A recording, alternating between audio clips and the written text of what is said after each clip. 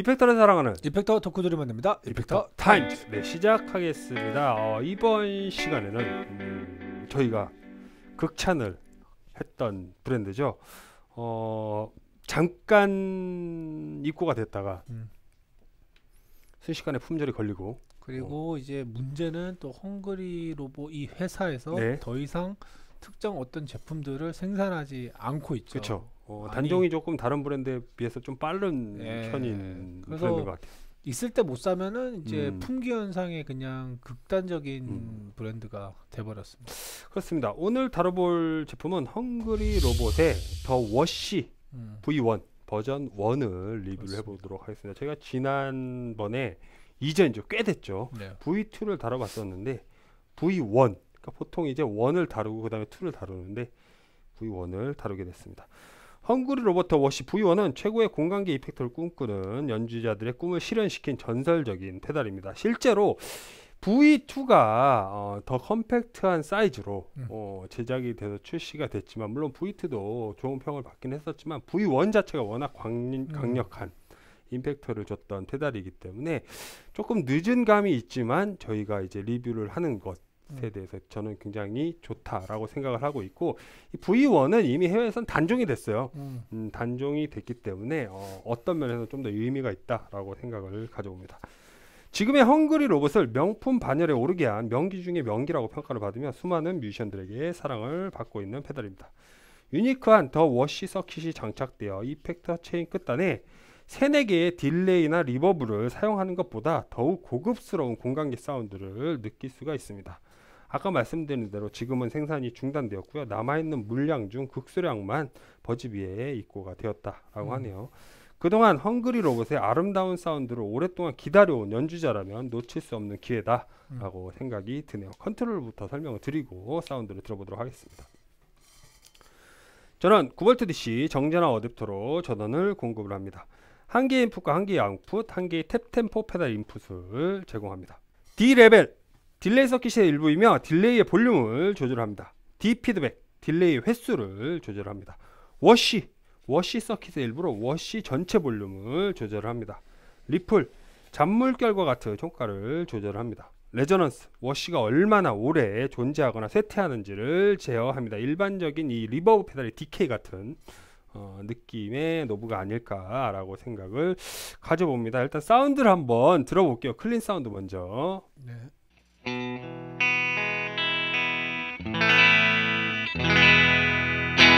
네. 자, 이쪽 먼저 들어보도록 하겠습니다.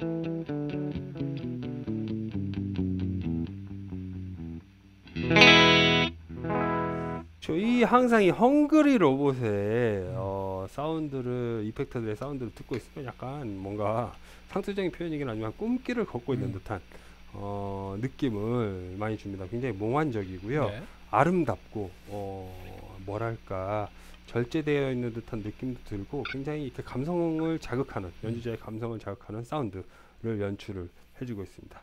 다음은 이쪽을 같이 한번 사용을 해보도록 할게요.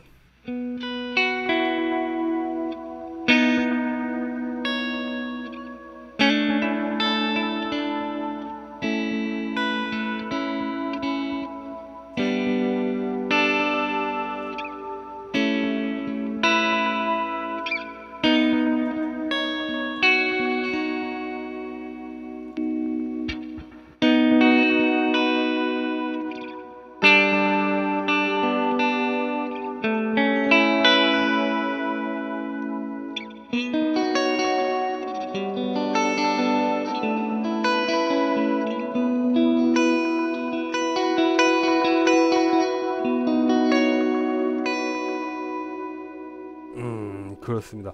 저는 약간 이런 생각을 해봐요. 이 Wash라는 이펙터가 유명해질 수 있는 조건 중에 하나가 뭐였다라고 생각을 하냐면 이 delay 단순한 아날로그 음. 느낌의 이 delay도 delay지만 이쪽 어, 빨간색 노벨 이 ripple이라든지 이런 걸 사용을 하면서 정말 어, 아까도 설명드렸지만 이, 이 delay라든지 reverb를 세네 개 얹어서 쓴 것보다도 훨씬 깔끔하고 훨씬 안정적이면서도 훨씬 이 넓은 공간감과 아름다운 이 촉감 같은 것을 전달을 해주기 때문에 음. 많은 사랑을 받지 않았었나라고 생각을 가져봅니다. 전체적으로 좀 다 줘볼까요? 이렇게? 네, 뭐. 리플을 한번 또 네. 그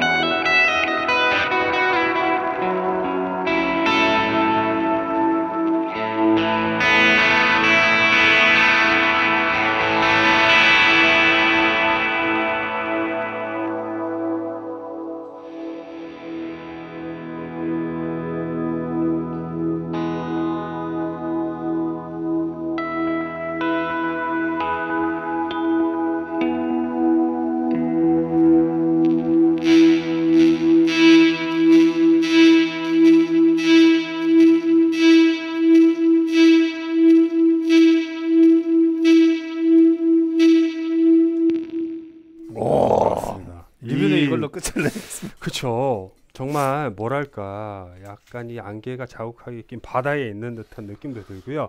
이 항상 이 헝그리 로봇의 이 이펙터들을 리뷰하게 되면 제가 이제 이성적인 판단보다는 굉장히 추상적이고 감상에 빠져든 듯한 리뷰를 항상 진행하게 될 수밖에 없는 그런 이펙터인 것 같습니다. 그리고 가장 이 헝그리 로봇의 장점이다 라고 제가 감히 생각하는 부분은 뭐냐면 lo-fi reverb라든지 lo-fi 공간계를 지향을 하면서도 그 dry signal 앞에서 이제 뿜어져 나오는 뒤에 깔리는 이런 느낌 말고요. 앞에서 뿜어져 나오는 소스 자체는 굉장히 또 고해상도의 어, 어, 선명한 사운드를 또 연출을 해주고 있기 때문에 요즘 이 ambient sound라든지 이런 사운드를 위시하는 연주자들한테는 정말 가장 가장 사랑받을 만한 페달이 아닌가라고 생각을 가져봅니다. 뭐 이런 아날로그 그러니까 음. 저희가 그 문화 같은 것도 마찬가지인 음, 음. 것 같아요. 그러니까 아날로그에서만 느낄 수 있는 어쩔 수 없는 음, 음. 것들이 있잖아요. 그러니까 뭐 일단은 첫 번째로 제가 드리고 싶은 말씀은 이제 뭐 저희가 이제 이제 마무리를 하지만 음. 뭐 딱히 뭐 더 세부적으로 들어볼 필요도 없이 음. 왜 중간에 끌었냐면 일단 이거는 그냥 개인이 오셔서, 오셔서 쳐보시는 게 음. 제일 맞을 것 같고 일부러 좀 더 딥하게 잡은 게 있는데 첫 번째로 일단은 워시라는 이름을 너무 잘 지었어요. 네. 정말 이름 그대로 음. 뭐 저는 정말 제가 치면서 무슨 생각이 들었냐면 그 뭐 제가 뭐 애니메이션 같은 것도 좋아하고 음. 이렇게 공상과 SF 물도 좋아하고 뭐 여러 가지 장르 뭐 영화나 애니메이션 다 좋아하는데 정말 정말 그그 바다에 제가 네. 잠겨서 음. 그 심해 어딘가에서 음, 음. 유형을 그 하고 있는 뭐 듯한, 하고 네, 있는데 어. 저기 뭐 고래도 뭐 고래도 있고 막 맞아요, 맞아요. 어. 뭐 이렇게 내가 태어나서 처음 보는 그러니까 음. 왜물 속에 있으면 고래 소리가 음. 굉장히 멀리에 음. 간대요. 근데 이제 그런 것처럼 저기 있는데 그 고래가 내는 소리가 음. 여기까지 음 이렇게 해서 막, 막 타고 오고 막 그러니까 정말 몽롱해지고 음. 그리고 뭐 바다를 또 빗대어서 다르게 표현하자면 정말 작은 소우주 음, 같은 음, 느낌이에요. 음, 음. 그래서 우주에 가본 적도 없지만 그렇습니다. 어, 그런 느낌이에요. 네. 음. 그런데 갔을 때 이렇게 기타를 치고 그런 장면을 보면서 내가 연주를 한다면 이렇게 치지 않을까 뭐 치면서 이게 음. 이게 그래서 늘 말씀드리지만 이펙터가 아티스트한테 연주를 하면서 영감을 주는 이펙터는 저는 정말 좋은 음. 이펙터라고 생각합니다. 그래서 정말 좋네요. 여튼 그렇습니다. 항상 저희에게 어, 이 아련함과 어, 어. 멋진 느낌을 전달을 해주는 헝그리 로봇 음, 을또 만나본 게 어, 2020년 1월이 지금 다가고 있어요. 네. 어, 굉장히 의미 있는 시간이 아니었나라고 생각을 하죠입니다. 은총 씨 먼저 더 워시 V1에 대한 한 줄 평을 주신다면 네. 마음속 소우주 이렇게 들렸습니다. 음, 네. 세인트 세야 노래 가사 중에 이런 게 있습니다. 요즘에 세인트 세이야 너무 좋아하고 있어. 네. 음. 아 원래 좋아했어요. 어, 어, 어, 원래 어. 좋아했는데 어렸을 때부터 원래 음. 굉장히 좋아했었는데 음. 요즘에 다시 막 요즘은 아니고 음. 예전에 이제 영화로도 한번 3D 음, 영화로도 한번 음. 나왔었는데 그게 정말 재밌게 음. 봤었는데 또 요즘에 넷플릭스에서 다시 하더라고요. 어, 그또 3D로 네네, 만들어서 그것도 있고 그 노래 첫 번째 가사 중에 음. 한국판 더빙에 부둥켜하는 마음의 소우주라는 단어가 있어요. 근데 거기서도 맨날 소우주의 cosmo를 느껴라라고 음, 음, 하는데 소우주의 cosmo를 제대로 어, 느끼게 하는 제대로 느끼게 어. 하는 cosmo가 뿜뿜 됩니다. 그렇습니다. 저는 한 줄 평 이렇게 드리도록 하겠습니다. 어, 국가가 허락한 유일한 마약, 어, 국가가 유일하게 허락한 마약이라고 한줄 평을 드리도록 하겠습니다. 제가 요즘에 어, 넷플릭스 얘기하니까 어, Breaking Bad를 다시 보고 있는데 아 재밌죠. 어, 재밌죠. 음, 보면은 이 크리스탈 메스, 어, 이게, 이게 마약을 하고 음. 정말 이제 막 뭔가 이렇게 모르죠. 저희는 이제 경험을 해볼 수가 없기 음. 때문에 모르고 경험을 해서도 안 되는 부분이긴 음. 하지만은 정말 이렇게 뭐 환상적인 음. 느낌을 이렇게 느끼나 봐요. 어, 그런 음, 것을 좀. 간접적으로나마 어, 저희는 합법적으로 즐길 수 있는 어, 방법이 바로 이 헝그리 로봇의 워시가 음. 아닌가라고 생각을 가지고 아니면 마약 김밥을 먹던가 아 그렇죠. 아니면은 이거는 합법적인 그거긴 한데 이거는 좋은 방법 아닙니까? 네. 뭐 큰 수술하셔서 이제 네. 진통제 맞으시면 약간 그런 느낌 받을 수 있거든요. 네 그렇습니다. 어 그 느낌을 받기 위해서 수술 받는 건또 어, 네, 비춥니다. 여러분 것 건강하셔야. 돼요. 음. 저처럼 아파서 그렇게 대용량의 진통제를 받으시면 안 됩니다. 그렇습니다. 여러모로 근데 음. 저희한테 큰 감정의 물결을 어, 느끼게 해준 헝그리 로봇 저희 점수 한번 줘보도록 음. 하겠습니다.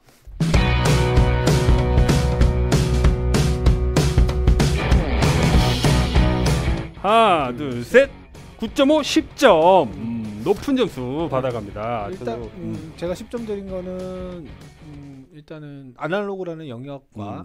그리고 이제 뭐 당연히 소리는 좋은데 네. 이게 문제가 뭐냐면 이제 없다는 거. 음, 이게 그러니까 이 저도 지금 확인을 해봐야 그쵸, 그쵸. 되는데 어, 헝그리 로버가 어, 지금 어. 굉장히 많은 제품을 그렇습니다. 시켰어요. 네, 그래서 오늘 제가 사가면 더 줄어들겠죠. 네네 그런 식으로 이게 지금 저희도 이- 이런 제품은 사실 형이랑 저도 음. 한 번씩 고민을 음, 급하게 하게 할 수밖에 되거든요. 없어요. 왜냐하면 음. 제가 실제로 저희 Hungry Robot 음. 리뷰하고 나서 그 예전에 그 아 그 뭐였죠 Wash도 마찬가지인데 음. 그 그 그 왜 two channel drive 네네네네네네. 있었잖아요. 그거를 제가 살려고 했는데 팔린 거예요. 음. 그래서 아 다음에 언제 들어와요? 그랬더니 안 들어오죠. 어. 끝났다는 음. 거예요. 그 저는 이제 그 drive를 살 수가 없는 음. 거죠. 이제 뭐 뭐 해외에서 뭐 중고를 구하든 이렇게 해서 사야 되는 상황인데 음.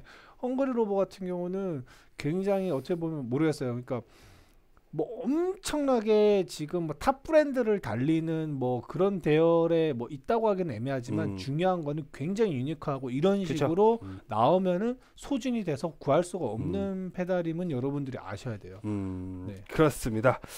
저희가 어, 좀 자주 만났으면 하는 브랜드 아, 중에 맞아요. 하나예요. 진짜요. 어, 그래서 조금 뭐 어, 뭐 100% 수작업으로 제작이 되고 이 케이스도 보면은 어 이제 일반적인 그 음. 실크 스크린 아니면 프린팅 방식이 아니라서 다 그린 거예요. 이거. 어 그러다 보니까 이 더딘 건 알고 이- 있지만 음. 이렇게 한국에도 많은 팬들을 음. 어 많은 팬들이 기다리고 있다라는 점을 조금 인지를 음. 해주시고 자주 자주 좀 더 새로운 제품들을 자주 만나봤으면 하는 바램을 전하면서 이 시간 마무리 짓도록 하겠습니다. 이펙터를 사랑하는 이펙터 덕후들이 만듭니다. 이펙터 타임즈. 네 다음 시간에 뵙겠습니다. 감사합니다. 유튜브 구독과 좋아요는 우리에게 큰 힘이 됩니다.